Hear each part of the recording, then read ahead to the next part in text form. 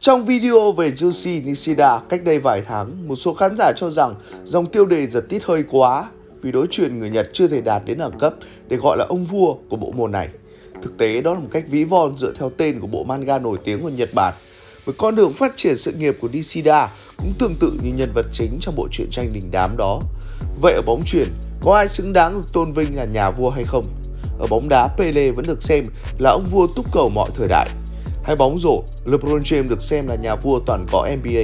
Ở bơi lội, Michael Phelps là ông hoàng đường đua xanh cũng chẳng ai phản đối. Vậy bóng truyền thì sao? Nếu là một người theo dõi bóng truyền quốc tế thường xuyên, hẳn sẽ không khó để khẳng định Will Ferrell, Doleon là ông vua bóng truyền ở thời điểm hiện tại. Người hâm mộ đặc biệt danh vua sư tử cho tay đập gốc Cuba không chỉ bởi cái tên Leon gợi đến loài mãnh thú này mà bởi sức mạnh và sự dũng mãnh của anh không khác gì một con sư tử oai hùng làm chủ vùng thảo nguyên cả. Wilfredo Leon là một cầu thủ bóng chuyền xuất sắc nhất hành tinh, được so sánh với Ronaldo với tư cách là một siêu sao trong thể thao. Chưa dừng lại ở đó, Leon hiện đang là cầu thủ bóng chuyền hưởng lương cao nhất thế giới với mức lương 1,4 triệu đô một năm. Leon còn giữ kỷ lục thế giới với 13 cú phát bóng ăn điểm trực tiếp trong trận đấu gặp Serbia tại VNL 2021. Cho đến thời điểm hiện tại, vẫn chưa có một ai có thể xô đổ con số của Vu Sư Tử. Chưa dừng lại ở đó, đó cũng là trận gặp Serbia tại VNL 2021. Chủ công sinh năm 93 còn khiến tất cả phải choáng ngợp với cú phát bóng 135,6 km/h, đồng thời phá kỷ lục cú giao bóng nhanh nhất mọi thời đại trước đó của ngôi sao người Ý Ivan Joseph. Nhiều cổ viên có mặt trên khán đài khi đó đã phải thốt lên Đến bao giờ mới có người xô đổ kỷ lục của Wilfredo Leon anh ấy đã chứng minh lý do tại sao chúng tôi gọi anh ấy là vua. Vua Leon Simba trong ống truyền. Và cũng như hầu hết các vị vua khác trong thể thao Leon cũng trải qua những quãng thời gian khốn khó. Sinh ra ở Sancho de Cuba Thành phố lớn thứ hai tại quốc đảo này. Tuy nhiên cuộc sống của Leon lại thiếu thốn đủ đường.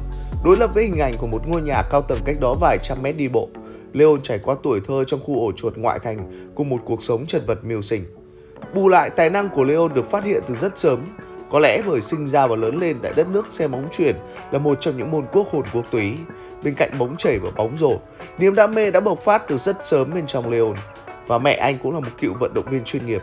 Ngay từ năm 7 tuổi, Leon đã được mẹ dạy chơi bóng chuyền và uốn nắn từng động tác kỹ thuật cơ bản nhất. Sau này chia sẻ với tờ New York Times, Leon bồi hồi kể lại Tôi lớn lên với cái nghèo khó bao quanh, trong đám trẻ cùng khu phố, chẳng đã ai được học hành tử tế. Tôi đam mê bóng truyền và ý thức được nó là cứu tinh của cuộc đời. Tôi chỉ nhớ rằng mình nhận thức được điều đó từ khi 8 đến 9 tuổi gì ấy.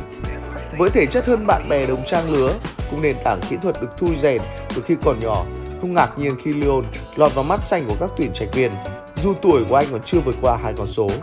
Wilfredo Leon nhận được lời mời tập luyện chuyên nghiệp của đội tuyển bóng chuyền quốc gia Cuba. Đánh đổi lại, Leon khi đó mới học lớp 3 phải chuyển tới thành phố mới xa nhà hơn một ngàn cây số.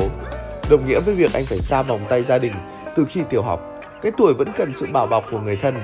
Ngay cả mẹ anh, một cựu vận động viên từng ăn nằm với trái bóng chuyền cũng không muốn con mình đi theo con đường đó. Nhưng vì ước vọng thoát nghèo vì hướng đến một tương lai sáng hơn và vì đam mê với môn thể thao này, Leon với hành trang là một chiếc túi nặng chưa đầy 3 kg, gồm một đôi giày và vài bộ quần áo à, cũ mềm. Anh lên đường bắt đầu hành trình mang tải nam bóng chuyền của mình đến với cả thế giới.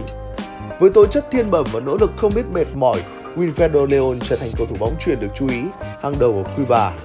Anh có trận ra mắt đội tuyển cấp cao quốc gia Cuba khi mới 14 tuổi thì giờ bóng chuyền bắt đầu chú ý tới tài năng của Wilfredo Leon và tất cả chỉ thực sự bùng nổ vào năm 2009.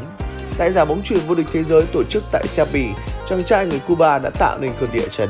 Vua Sư Tử trở thành đội trưởng trẻ nhất của đội ở tuổi 17 và giành huy chương bạc tại giải vô địch thế giới ở Ý cùng với các thủ khác, những người được gọi là thế hệ kỳ tích của những Leon, John D. Leon và Robert Stanley Simon.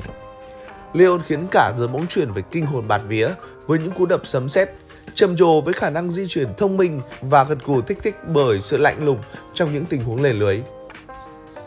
Truyền thông thế giới phát cuồng về tài năng của Leon, tay đập sinh năm 93 chính thức bước ra ánh sáng, trở thành niềm tự hào của hàng triệu người dân Cuba và được yêu ái với cái tên Cristiano Ronaldo bóng chuyển. Dù cho Leon không mấy thích thú với biệt danh này, tôi không có vấn đề gì về sự so sánh, nhưng chỉ cảm thấy nó không đúng lắm.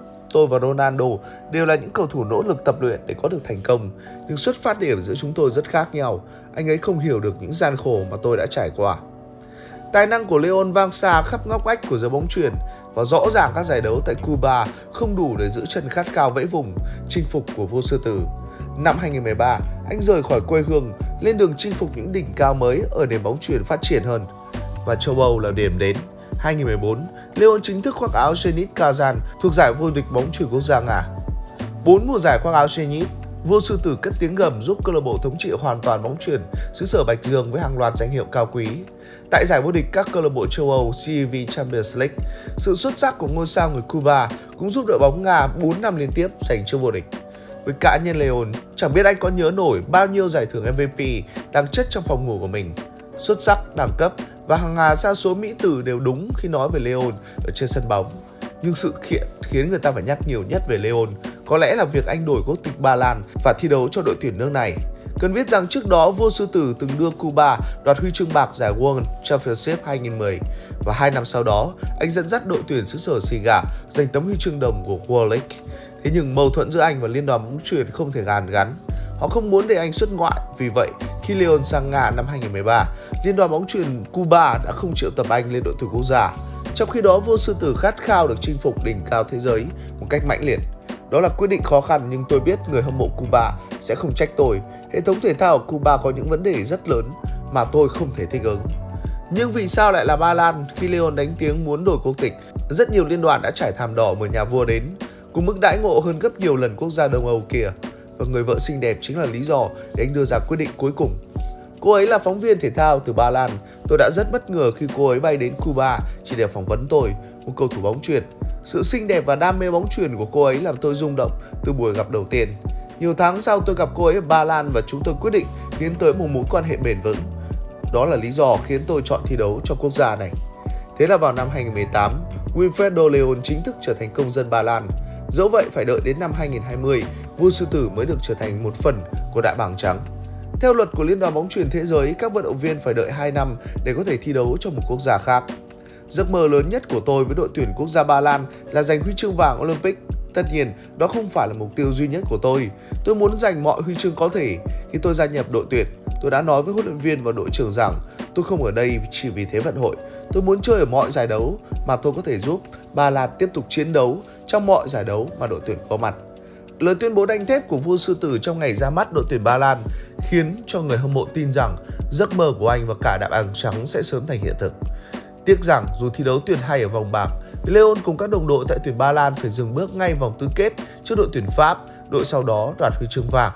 Vượt đen chưa thôi đeo bám Leon khi anh dính chấn thương sau khi mùa giải 2021-22 khép lại, khiến anh lỡ hẹn với VNL 2022 cùng đội tuyển Ba Lan.